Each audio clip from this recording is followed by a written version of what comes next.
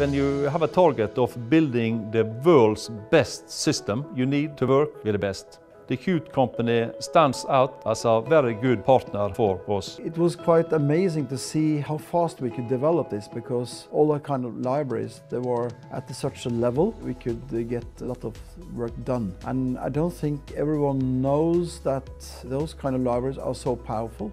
And development process now is much easier than before. We know that it could easily be 1,000 hours, 1,300 hours for a big automation system. Doing this has reduced 50 hours, reduced significantly. Qt can provide us with a platform that a lot of users are sharing. And we again we say share and advance because we get some and we pay something back. And everyone will gain from it. We use uh, Qt uh, Creator for all our software development. This is a very good tool for uh, programming uh, control system as well as graphical user interface. I think without the assistance from the Qt company, things would have taken much longer time.